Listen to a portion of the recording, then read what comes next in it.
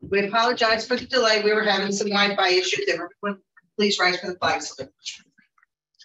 I pledge allegiance to the flag of the United States of America.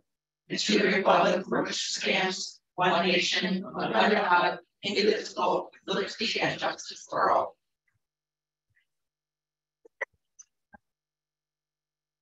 Good evening. In compliance with the Open Public Meetings Act of the State of New Jersey, adequate notice of this meeting of the Egg Harbor City Common Council was provided in the following manner. Advance written notice of this meeting was posted on the Egg Harbor City All Bulletin Board. Advance written notice of this meeting was posted on the Egg Harbor City website. Advance written notice of this meeting was sent to the Hammonton Gazette and the press. The meeting is being conducted via Zoom and conference call. The meeting is also being recorded to air on the Egg Harbor City website, channel ninety-seven, and the Egg Harbor City Facebook page. Roll call, please. Mayor Petty. Here. Antonisi. Here. Clark. Here. Dash. Here. Uh, Councilwoman Galloway will not be here. Heist. Chair. Hesse. Here. Timbers. Wright. And Councilman Ritchie will not be here. But They told me in advance. I don't know about you. Okay, we need a um motion to approve the minutes from the February twenty-third meeting. Make a motion. Second. All in favor? Aye. Okay, we're gonna open the floor to public comment, and if anybody from the public, either in council chambers or on Zoom has anything to comment about on the agenda items for tonight's meeting, now is the time to do it.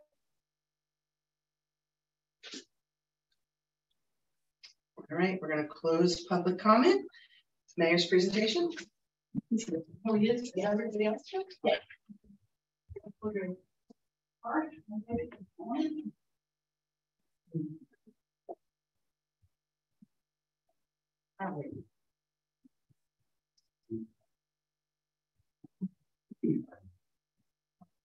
So we have to come, I know we don't want to, but. Well, you guys can sit if you want. I'll- You guys Just stay- stay right no, there and I'll like- call you up one by one. How's that? Okay, yeah. That's what, that's what our plan is. Yeah. Okay. Don't walk too far away and. Okay, so every year I do police awards. Um, this year we changed it a little bit and what we're calling our awards this year is Outstanding Service Award for twenty twenty-three. And we had two officers that, uh, the chief selected for outstanding service. And I'm gonna call them up right now. We'll have chief say a few words and then we'll move on to our numerous others that are here tonight. Um, Patrolman Tom Wait.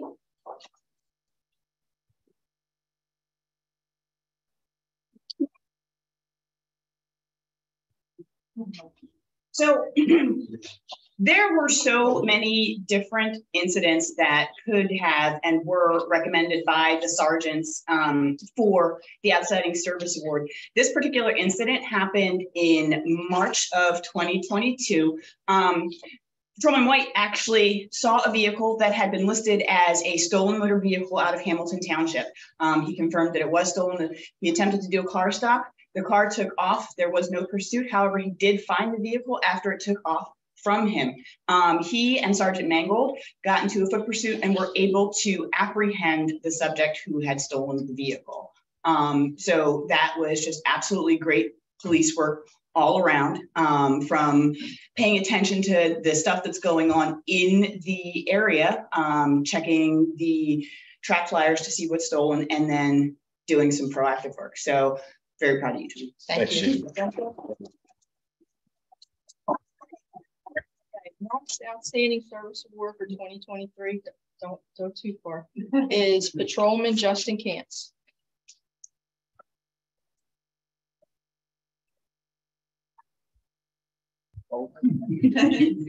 Um, this incident just happened recently in December. Uh, there was a report of a subject who had stolen a weapon from a house in Hamilton Township.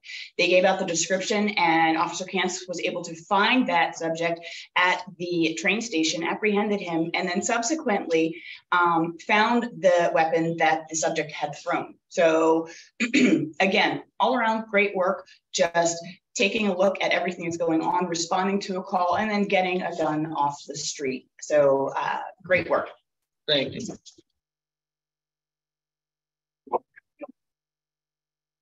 Okay, and we have quite a few awards tonight um, that actually just happened this week. So we thought it would be a good opportunity to bring the officers in and have a little chat about them. So the next officer is, do you want to say first, what or do you want me to bring them up first? I, I can talk about it. I think they might prefer that. Okay. Um, Okay.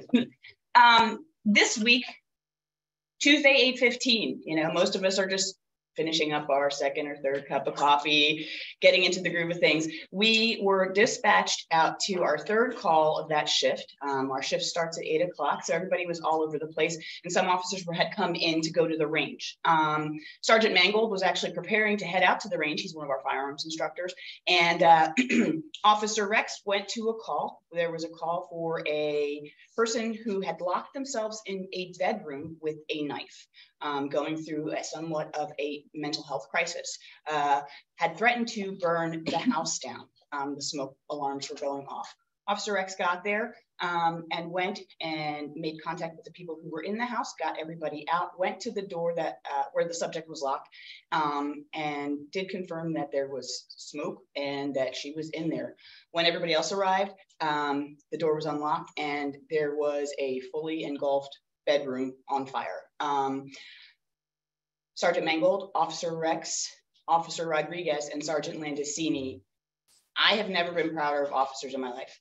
This woman had a knife, was not dropping it, and what could have easily escalated into a use, a lethal use of force without smoke and flames and fire, um, wound up having all of the officers safely and uninjured um, come out of there. And the woman was able to be brought down the stairs to safety and then subsequently treated. Um, this is an instance where the tactics that are taught in terms of de-escalation and, and crisis intervention were utilized. And again, something that could have gone sideways so quickly, they were absolutely amazing. And again, I've never been prouder of anybody that I've worked with.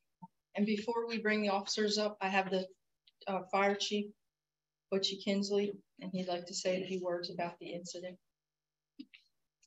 Uh, pretty much the chief uh, hit everything on the head. Um, they did a heck of a job, hell of a job, uh, to go into that building with all that smoke. Um, you know, without firefighting training, you know, we're firefighters, we're trained, we have turnout gear, we have air packs. They went in there blind. Uh, it could have escalated, it could have went south fast. Um, not only did they, when the firefighters got there, they kept us outside, they wouldn't even let us go inside. So they saved firefighters from getting hurt also. And uh, they are commended. Thank you, Chief. Thank Want you. to stay up here? No, I'm good.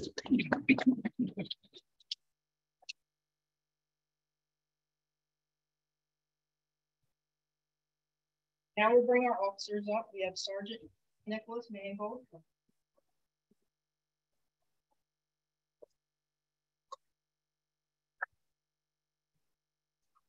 And stay up here. And you can just go to call in. And we have Patrolman Matthew Rex.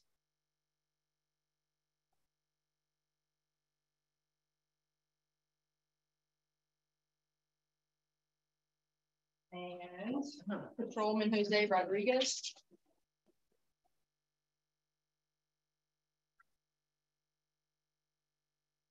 And certainly our superstar chief over here. She deserves recognition also.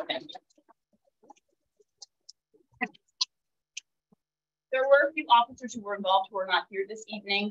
I have to say, when it came to incident command and coordinating fire, EMS, and police, Lieutenant Zach Perna was outside, and as much as it bothered him with his firefighting experience to not actually be battling the flames, um, without him, this could have also been a bigger cluster than it was. Um, but he made sure that he was on fire radio, he was on police radio, and it was an absolute great job of coordination.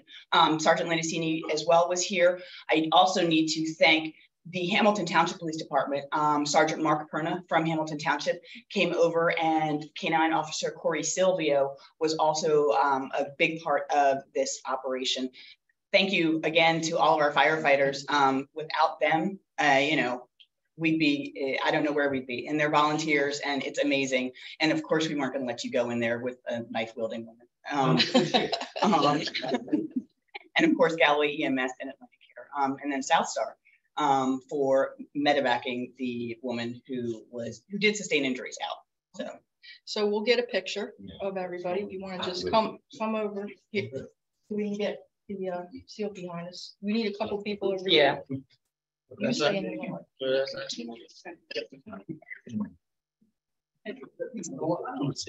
Come close.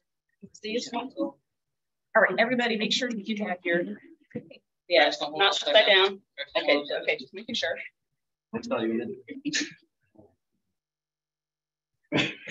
Wow, wow. They gotta separate that. I know, come on. Get them.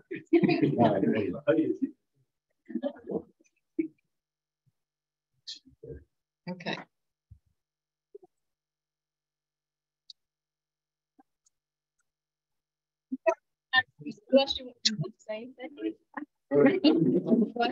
Yeah, thank you. Can you guys stay for one second, please? Come come in. Um, I do have one more presentation this evening, and I wanted to do it when there were some, you know, officers here and whatnot, but, um, I, I know you can't see it now, but we have a wall of firsts, okay?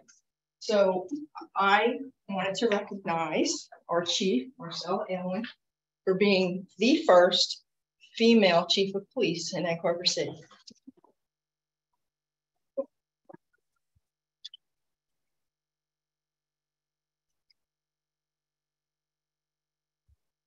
On that wall somewhere. Dude. Thank you. All right. Take care.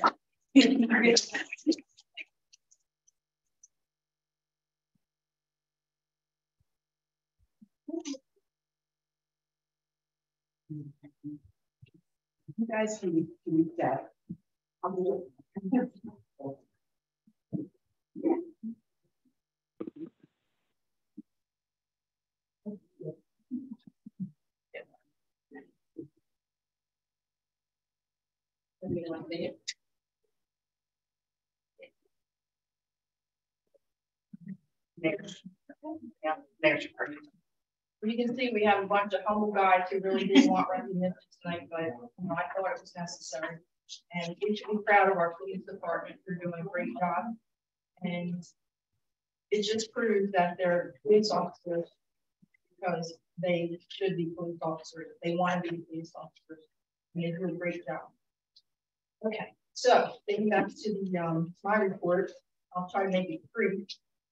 Uh, good news this week actually yesterday, we received word that the um, New Jersey, I mean, US Department of Agriculture has looked at our request to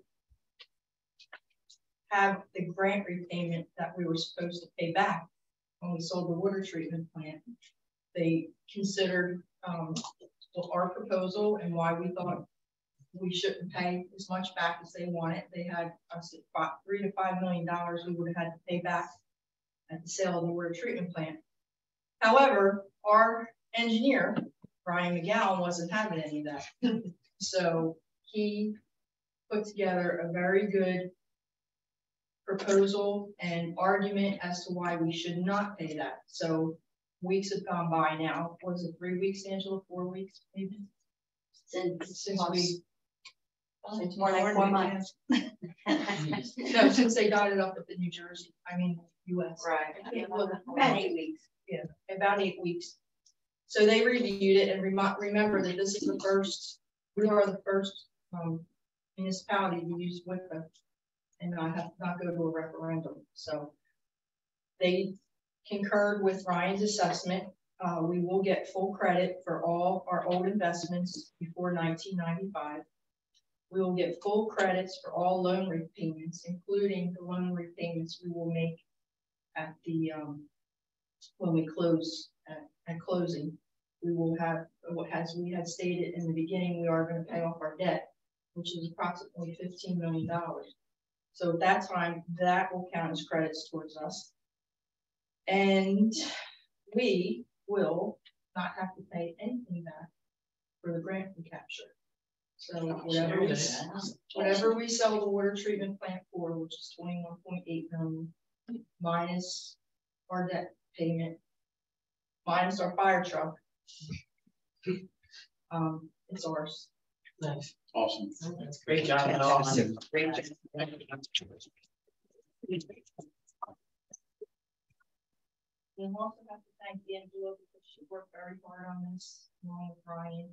Um, she's provided so much information that they needed and, you know, she, her part in this helped us get this decision the way we wanted it. So thank you, Angela.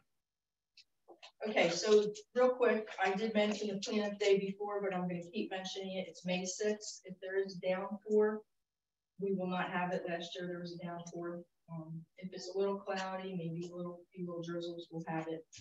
Um, Memorial Day, the, um, the American Legion would like to have it at Lincoln Park this year.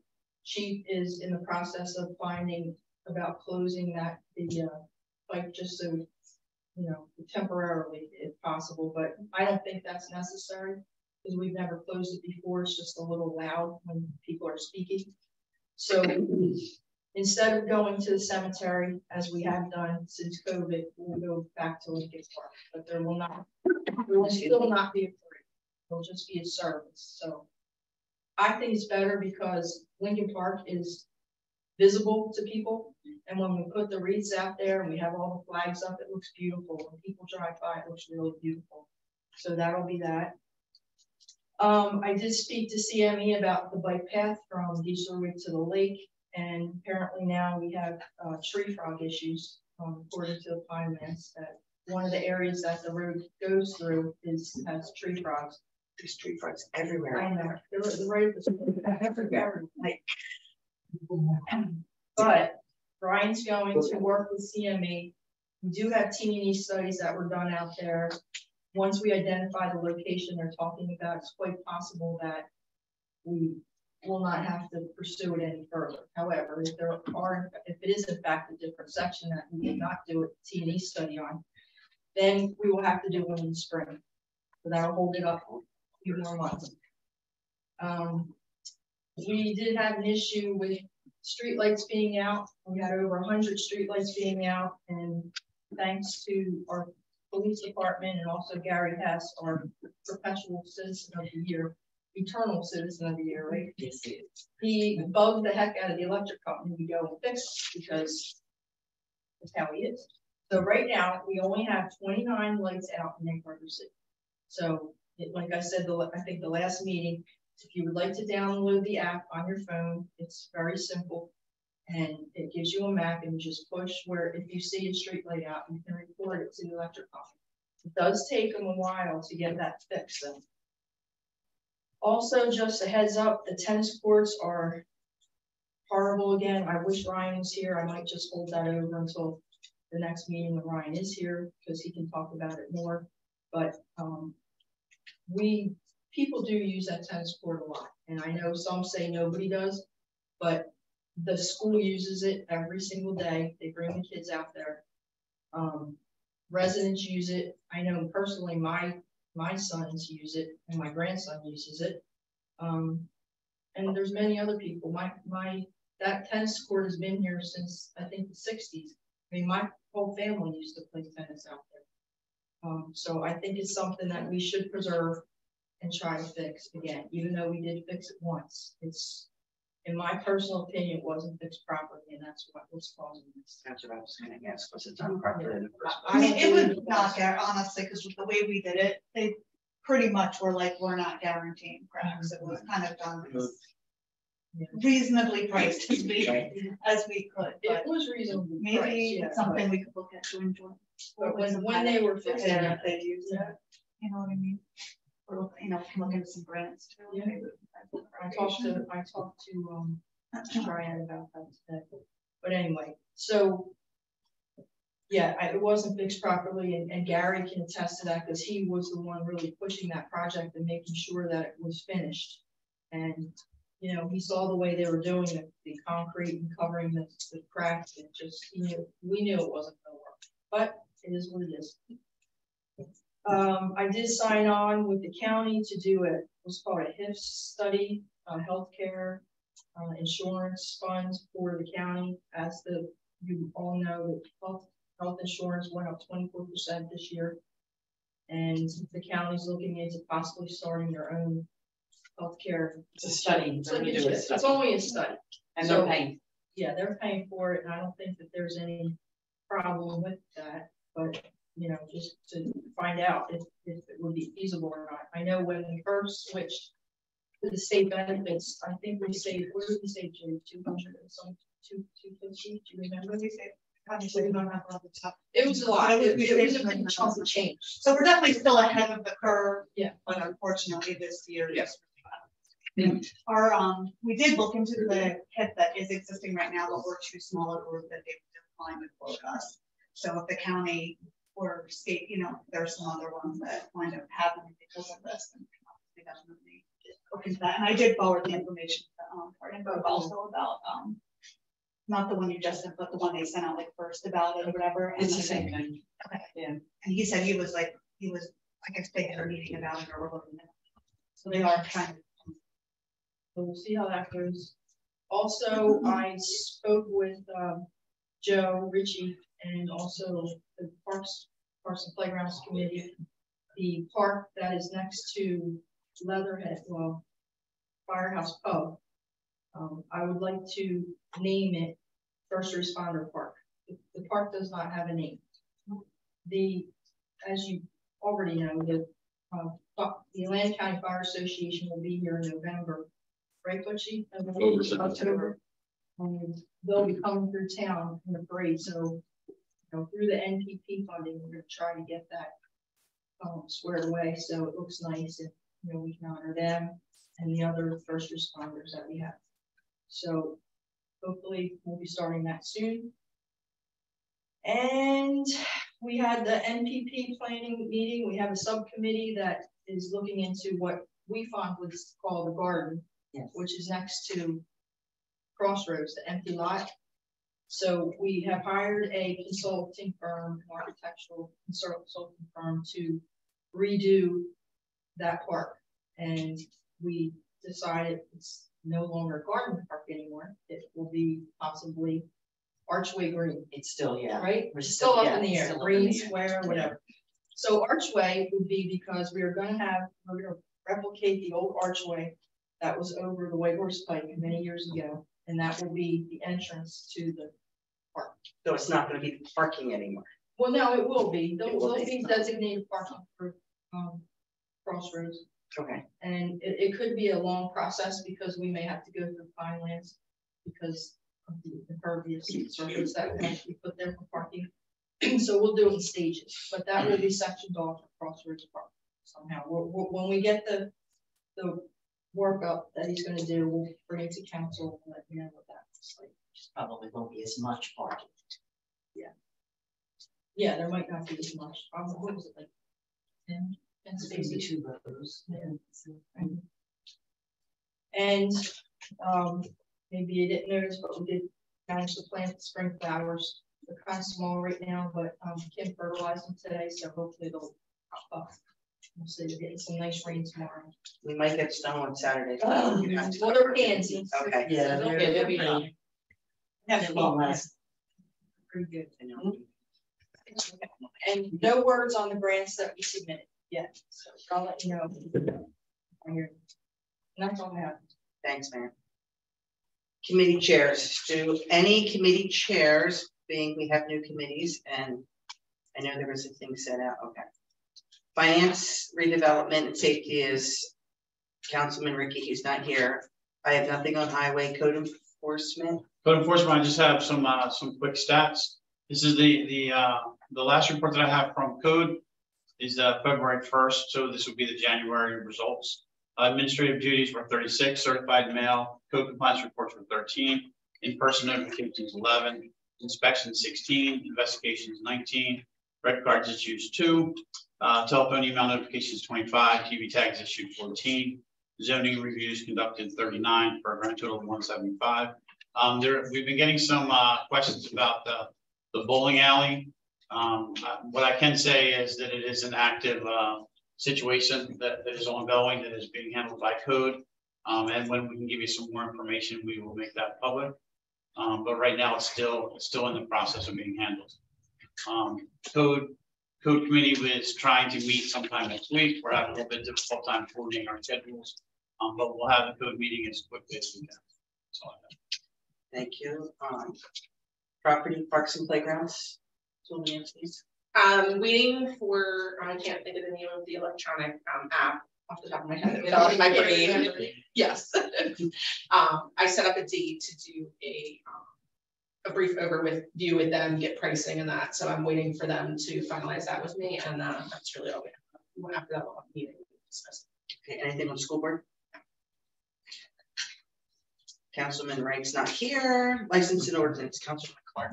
Um, we had a meeting yesterday. Um, there are two ordinances that are currently in place, uh, that we're looking to amend.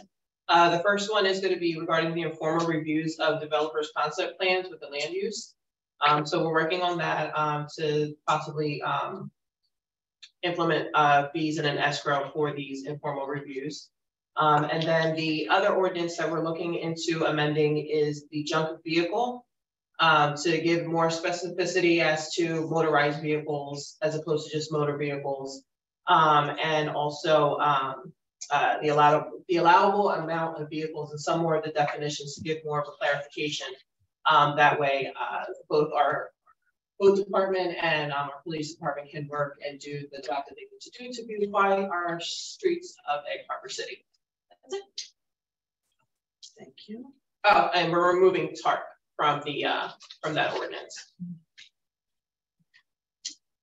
Councilman Timbers isn't here. That's Liam Houston, Aaron Haven. Any Rotary? Councilman Hesse? Uh, nothing really other than the Easter, we're starting to work on Easter. uh, it will be April first with a rain date of April eighth. Um, we're going to start filming the eighths on the twenty eighth at our next meeting. But um, so far, and we have a meeting coming up on Friday just to discuss this with a small group. See what we, what uh, we're going to do. I think we're going to do it a little bit differently this year. We're going to break it up into three groups. And so we want to have a little bit more um, organized and, and make sure it's a little more fair for the children. So the, I'm not hundred percent sure that the age group, but each age group is going to get like two of the large baskets, you know, and then they're gonna have, it's like twenty-five other small baskets, and they're also gonna divide them up. So it doesn't go to all the older children or anything. So there's just a lot of little things that we're working out, but we're working on it right now. Okay, thank you. Um, do you have anything on sustainable EHC since Councilman Galloway's not here? No, I can. Okay, just want to make sure. All right, thank you. All right, Chief of Police. So the rest of this won't sound as eventful as ours would be. I can get through it. Um, so, uh, you know, number four, um, crimes and offenses, we had one aggravated assault, and this is from the time period between two twenty-three and three nine, so since we last met a few weeks ago. Um, aggravated assault, we had one, two burglaries, one robbery, one reported sexual assault, three simple assaults, one stolen vehicle, and two thefts. We had a total of six motor vehicle accidents, one pedestrian stop, and forty-four traffic stops. All of those yielded uh, fifty-one total traffic summonses. Um, with four arrests. In there, you won't see anything about arson because we are still in the process of figuring out what we are doing in terms of charging for uh, Tuesday's incident. Um, otherwise, other incidents, we had six alarm business alarms, 123 crime prevention activities, three domestic violence incidents, EMS incidences were 24, three new firearms ID apps, five follow-ups, 671 property checks, and then four public service uh, Um, in terms of operation support training inspections, um, we did not have any trainings over this last period. Upcoming, I will be attending a New Jersey State Association Chief of Police chief training. Um, they offer it once a year and it has to be within one year of your official appointment to the chief of police position. And last year, by the time I was officially appointed, not provisionally, it had already passed. So, um, as somebody jokingly, another chief said, you probably teach the class now. But, uh, but, um, we have that. And then another, uh, I think very appropriate thing is Officer Caldwell will be attending a crisis intervention training, which will then lead up to a um, specifically for veterans training. Um, the Atlantic County Prosecutor's Office, along with Atlantic CPD, is setting it up um, so that there is a countywide team that will be able to respond out to veterans in crisis. Um, because there is that camaraderie and just the knowledge of any kind of issues that may have happened with um, with veterans. And as a, a, current military member and as a veteran, Officer Caldwell expressed interest in doing that. So we are going to be sending him to that. Um, things that we've done over the last few weeks. It was Read Across America Week, um, Dr. Seuss's birthday. We every year go and read, and we did again this year. And we always have a really great time. Sprague always welcomes us with open arms. Um, today we had some officers in the community school believe we talked about this before. Um, each week there is a class where they talk about different life skills, making smart choices, different dangerous situations. So our officers were in there today again, um, and we do that every week. And then I was asked to be part of a panel for the Women in Law Enforcement Symposium that was held at Stockton University yesterday. Um, I, along with retired Chief Donna Higby Garrison and Captain Stacy Schlachter, all of us who happened to graduate from the same high school the same year, um, were part of a panel um, that was moderated by a Stockton student studying criminal justice, uh, just discussing um, what it's like to be a woman in law enforcement. Um, so that was fun. Upcoming stuff. Our lovely partners, manager, general manager Kim, and one of the other managers, Jerica at Wawa, was going. They're going to be doing coffee with a cop on March 27th at our local Wawa. Um, and then March 22nd, you will be seeing Officer Kantz participating in March Dadness. No, he doesn't have any kids at the community school. Um, however, there are some kids who may not have father figures, so he's going to be playing on the team with them. Um, it's a fun time. It's a good time um, at the community school. So we will be out there cheering Officer whoever he's playing with. but that's about all I have for you. Like I said, not as exciting as our Tuesday night, but That's okay. We'll take it. all right. Thank you. CFO report, Jody, do you have anything? Okay, city clerk's report. Oh, Meg, I didn't ask you about Jeff. I'm sorry. Skip Joe. There, nothing. Okay. Um, I just wanted to mention that the rabies clinic, the free rabies clinic will be on March eighteenth at the Public Works Garage from ten to twelve. Anybody who needs, um, their pet vaccinated for rabies, uh, or then they can get the license if you're a resident of Bangor City. Pet, cats and dogs need to be registered and you can get your license at that time. The rabies shot is for all, any resident of Atlantic County, so it's not just for, the rabies shot is not just for Egg Harbor City, but of course the licenses. And that's all. Thank you. Angela, city attorney's report. Um, just a few things.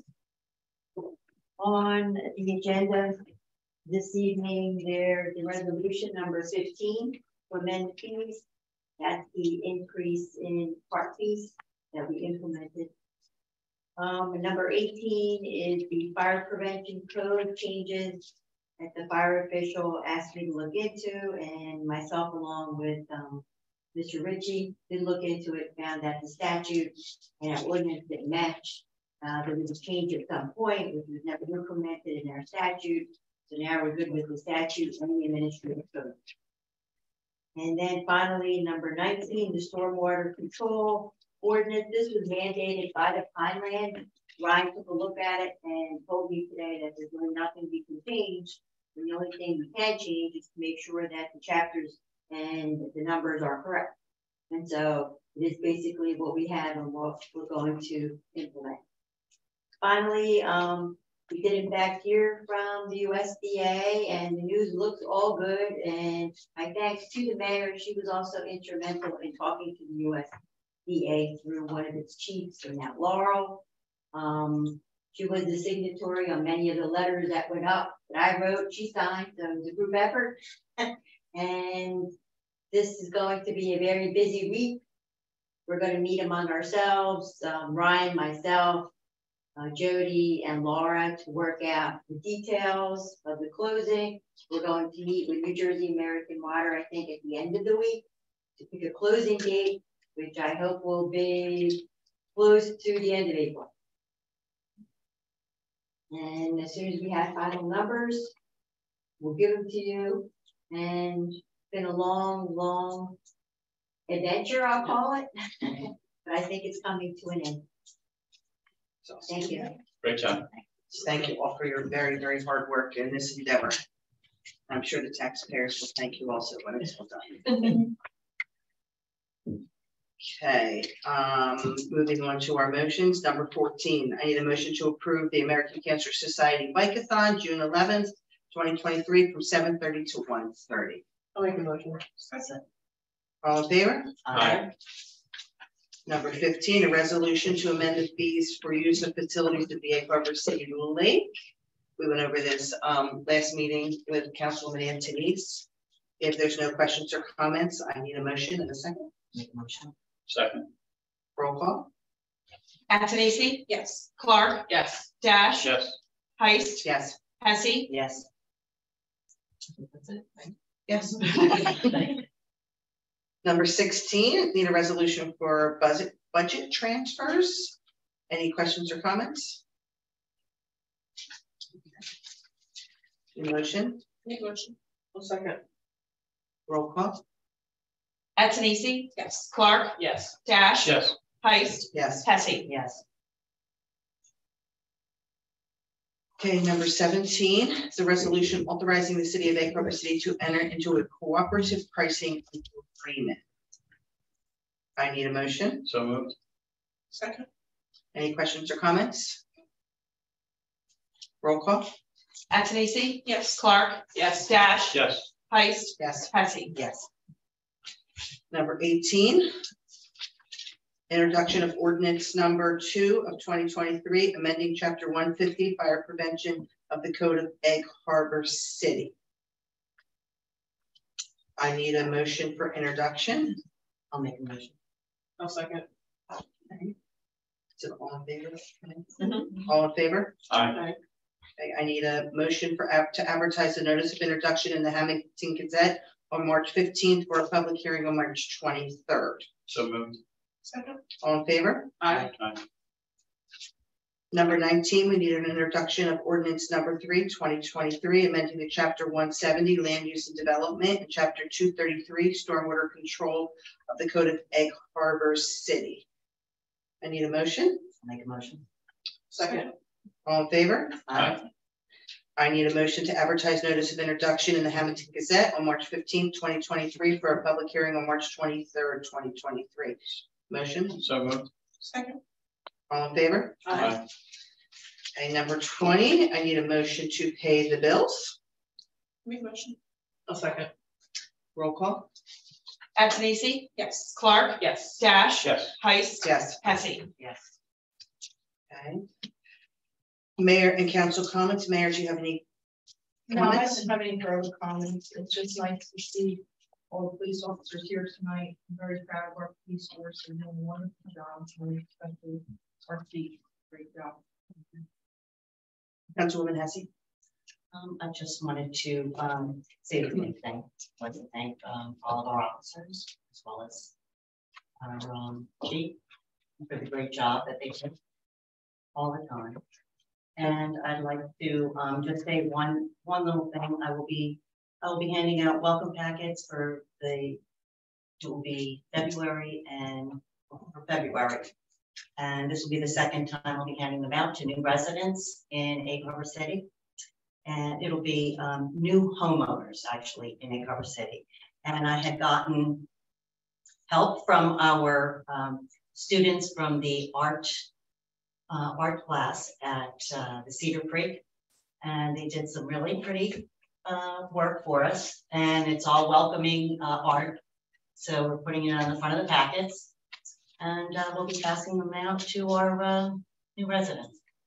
So uh, we're really, uh, I'd like to embrace our new homeowners. And the last thing that I'd like to say is have a safe uh, St. Patrick's Day. Thank you for that, Councilwoman Hesse. Councilwoman Clark? Um, it's already been said a thousand times, and I'll say it a thousand and one times. Thank you to our police department and thank you to our fire department for keeping our residents safe and, you know, um, uh, something positive, you know, so a good positive news out of Egg Harbor City to, you know, continue the pride um, that we have and, you know, example being a, uh, the perfect example of uh, Harbor Strong. So thank you guys very, very much. Councilwoman Antonis? I want to share a story about the police department. Uh, so if you come down my block, you know that all the kids play at my house. There's probably about 15 kids there every afternoon. So the other day, my mom said all the kids were outside playing. And next thing she knew, there was a cop car out back. And she was very worried that one of the kids did something or, you know, got into something. And she went out there and they were all playing basketball. So I just thought that was a wonderful thing to hear. My mom appreciated it because there are a lot of kids that come over. So to know that there's no police presence, just keeping an eye on them, but that they're also out there hanging out thought that's pretty cool. I wanted to share it. And then finally, I just wanted to shout out Riley Lerner. She's from Cedar Creek. She, we have a nice little parade for her in town. She won the state championship for 120 pounds for wrestling.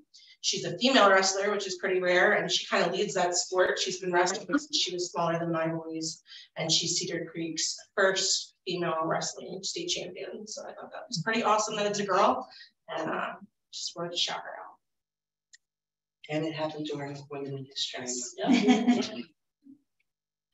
And Councilwoman Dash? Okay. Um, I'll be brief, but the situation that happened Tuesday morning, anyone in law enforcement knows that that could have gone completely differently. Um, I want to really commend the police department for their outstanding care in that individual. There was no uh, use of force used that, that could have gone completely bad for that individual. So it's nice to see that they did their job very well. They were compassionate with the person who was was in the room. Um, I, I can't express how proud I am of our police department and also our fire department. So the way everyone worked together was was absolutely perfect in this situation. I'm very proud of everybody. Thank you. And I'm going to echo Councilman Dash. Um, mental health is a very serious condition, and unfortunately, it is an it is an invisible disability. You can't look at somebody and see that they have a mental disability.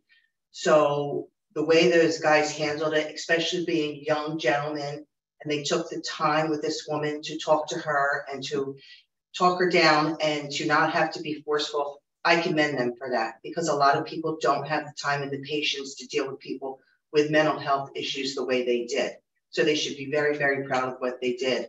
And I know I am proud of them as sitting up here as a council person.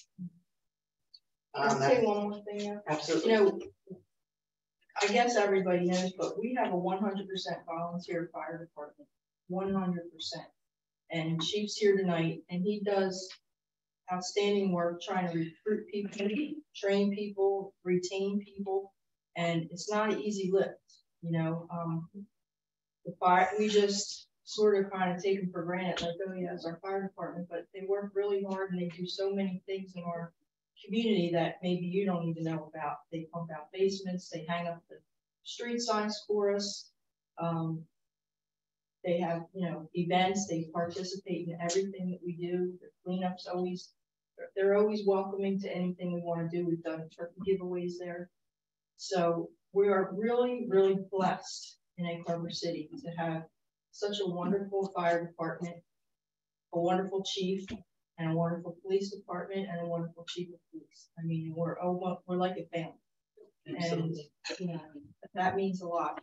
And I think that's one of the things that makes Egg Harbor City such an attractive place to live, regardless of what anybody else says. They make our new town feel like home. Yes, they do. Yes. So thank you both for what you do. Give it another six years and you'll have my, my firstborn son to be a, a volunteer. But you, you know I appreciate you. Yep. All right, um, any public comment in council chambers or on Zoom? Does anyone have any public comment? Seeing none, I need a motion and a second to adjourn. All in favor?